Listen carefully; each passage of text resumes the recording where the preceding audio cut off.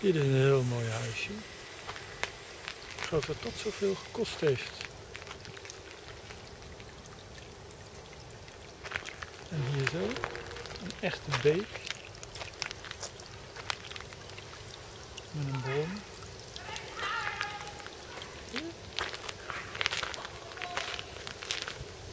De achtergrond het geluid van